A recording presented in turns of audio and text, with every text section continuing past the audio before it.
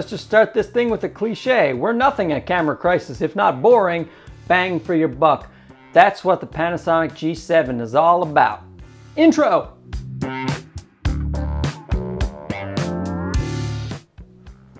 I don't really have an intro. Who has time when I have information to get to you people? Hey, this is Camera Crisis. If you like talking about cameras and obsessing over things that you shouldn't, this is your place right here. Gear talk all the time. Thanks for showing up. Subscribe, like, comment. I think the Panasonic G7 just might be the best value in the entire universe if you want to take video especially and you also want to do some photos. I was debating on how I would do this thing, you know, put up specs and all that. And I'm sure if you're looking up the Panasonic G7, you've come to other videos besides mine, and they're very spec heavy and they show you, you know, the facts. We don't do that here. We don't, we don't deal in facts. We deal in, in feelings and uh, other things. It doesn't tell the story just to do the specs of this camera. This G7 is I love it. I don't know anyone who's ever bought it that doesn't love it. And yes, there is an implicit bias. When you purchase an item, you generally are favorable towards that item. That, that's the psychological thing in case you don't. So all these YouTubers, when they're talking about how much they love their cameras, yeah, you own that camera. So it, it psychologically speaking, it makes you feel better if you end up loving the thing that you spent a lot of money on. But I digress.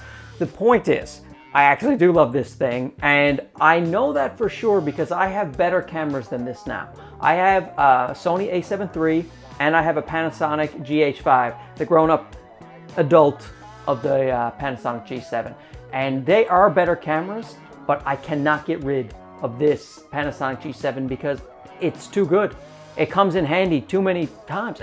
First of all, okay, so I'll just tell you the stuff that I think is really important about it. You got, you got the 4K, it, it creates an amazing 4K image. I'm shooting this entire thing on uh, the G7 right now. If you like the way this looks, and I hope you do, because, you know, I put blue lights in the background, so that's, it's professional.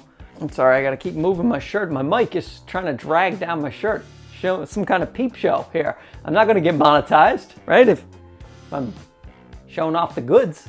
Like I was saying, it's got crisp 4K. It looks super nice. I love the image you can get out of this thing. Some of the best footage I've ever shot comes out of the G7. I'll be looking at it and I'll be thinking, yeah, I shot that with the GH5, but I didn't. I, sh I shot it with the G7. And if I have examples of clips I've shot, I will put them up now, and then maybe I'll be talking over them like this so that there's space to put them in.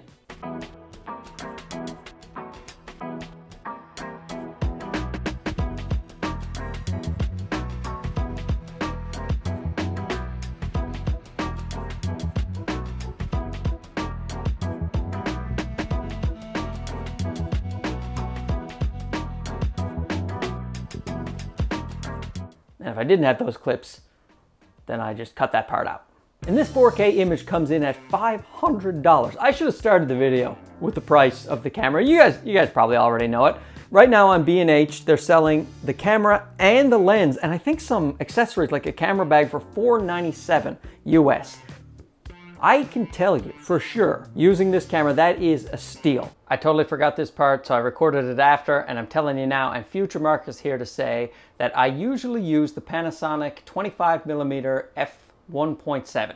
Now that's a 50 millimeter equivalent full frame, so the nifty 50, and the thing costs $147 right now at B&H Photo.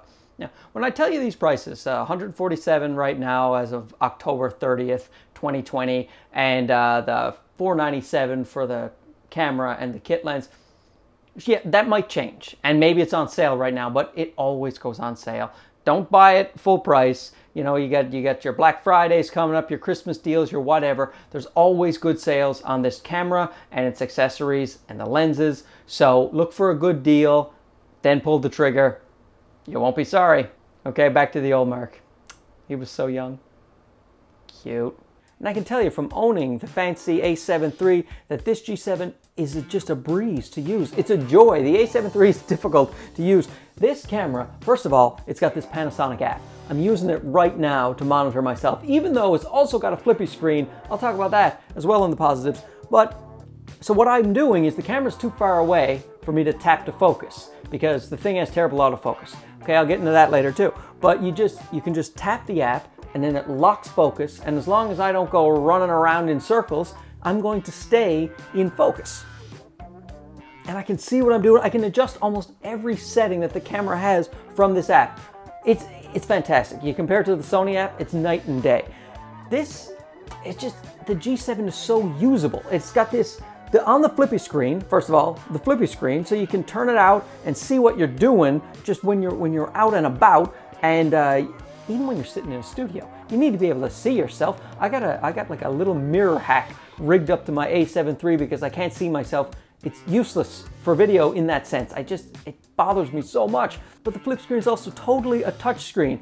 And you would think, oh, all, all cameras have great touch screens. No, they don't. Most of them do not. But the Panasonic G series, just the entire thing is click and touch and you can you can tap to focus and you can expand and drag and the menu is laid out in a very easy to understand manner even for a doofus like myself I got it I mastered it in a very short period of time and teachers used to write on my report card he tries but battery life this blows me away I let this run the other day for just to see how long it will go and on one battery for uh, 24p 4k footage it ran for an hour and 58 minutes just running for an hour and 58 minutes. There's no overheating. It's not even possible on this thing. You cannot overheat it no matter how much you try.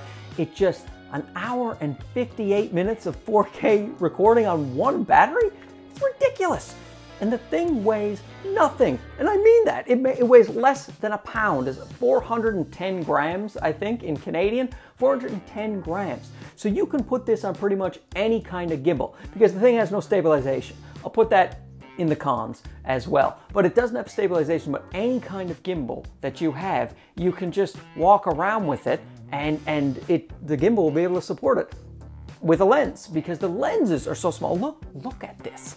This is a uh, 42.5. So in a micro four thirds world, this is an 85 millimeter full frame equivalent and it's a uh, 1.7, which is a 3.4 equivalent, but still, you can portraits. You can take some really nice portraits with this thing and get a really nice blurry background. The bokeh. Am I saying that right? Gerald Undone? Bokeh. Bokeh?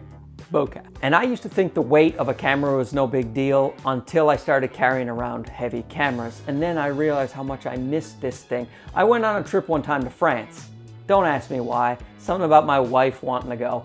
And I take this thing and I'm carrying it in my hand all day, every day, just taking pictures of the stuff I like.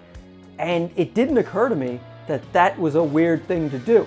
Now that I take the A7 III along with its big old lenses, I have to put it in a bag and put it on my shoulder because I can't just hold it in my hand all day. It weighs too much. This thing, less than a pound. Oh my God. And some people say they don't like the build quality, that it's plastic. I think it feels fantastic. I love the grip. It feels like a little solid camera to me. I love this thing. And you might be saying, yeah, but it has a 29 minute record limit. No, it does not. If you, first of all, most times you'll never need more than a 29 minute record limit, but sometimes you do, myself included, because sometimes I'll, I'll tape long stand-up comedy sets. I'm a stand-up comedian in my real life. So if I'm taping an hour long set, that 29 minutes is, is not gonna cut it. So this camera though, with just a couple of button presses, you can turn, put it into service mode, which I have had it in since 2015. Yes, this camera came out in 2015 and you think, wow, wow, that is too old. It is not. That's why Panasonic still sell it. It's why B&H still sell it. It's why, and that's why there's so many YouTubers making videos about, is the G7 worth buying in 2020? Yes. Will everyone stop with that line? Is it worth buying? yeah, yeah, it is. Just put the word yes next to it because it is. So back to the unlimited recording hack. You just, you press a couple of buttons, it's in service mode, and then it just records continuously until your battery runs out or your SD card runs out. And uh, I'll link below a step-by-step -step instruction video to how to do that if you want to. I've done it and uh, it's had no ill effects on the camera whatsoever for the entire time I've used it. I would recommend you do that. Another great thing about this camera is the time lapses. Panasonic do time lapses so friggin' well. friggin', that's a, people say that a lot where I'm from, but you probably don't even know what that means. They do it very well. What they do is it's in camera. So you take all these photos, you just press a couple of buttons, and then it starts taking photos for you for the time period you want. And when it's done, it puts the photos together and gives you your time lapse, your, your 4K time lapse.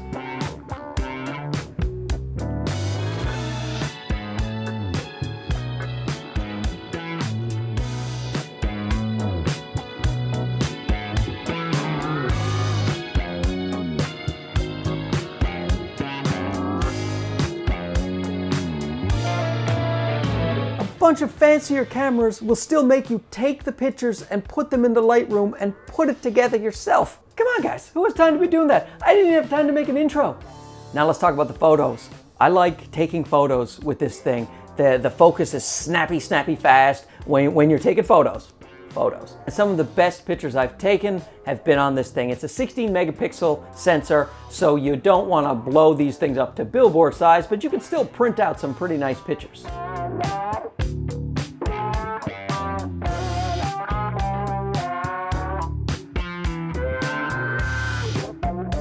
It's got a it's got a 4K burst mode so you can hold it down and it takes a little movie of the scene you're looking at and then you can select a photo out of that little scene. That's kind of cool. It's a surprisingly capable stills camera. So let's get this straight. We have a 4K camera with a beautiful image, with great photo capabilities, with fantastic time lapses, with all day battery life, with unlimited recording time for less than $500. So what are the downsides? There's some.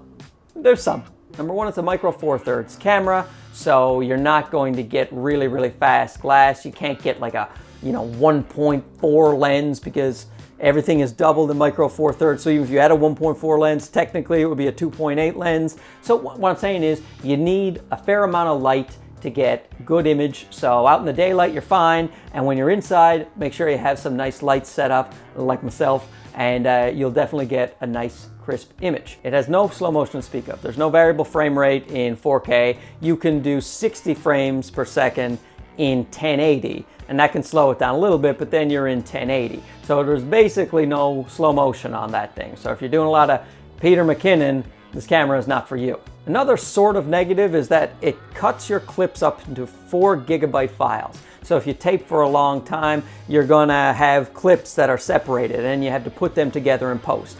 It's not that big of a deal. You can just put the clips together later and there's, there's no gaps or anything. But it's something to bear in mind when you're trying to sync up audio. I like it when it's just one long file, you press record and there's one big file comes out. But the truth is this four gigabyte segmented thing comes in handy sometimes. Like I say, so I'm at a comedy show and I want to tape myself and I'm at the end and I'm going to do an hour but there's 30 minutes in front of me that I don't want, but I can't be near the camera, so I just press record at the beginning.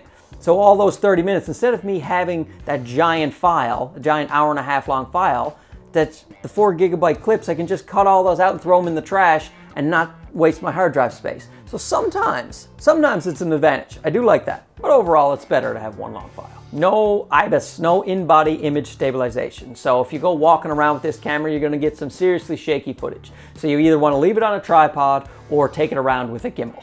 And of course, the major negative is the autofocus. There is no autofocus on it. I mean, there is autofocus on it, but do not use it. It simply does not work.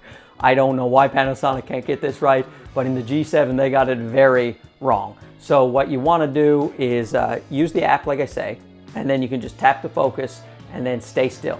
So for talking head stuff, YouTube videos where you're staying still, if you're interviews, it all works. It works just great.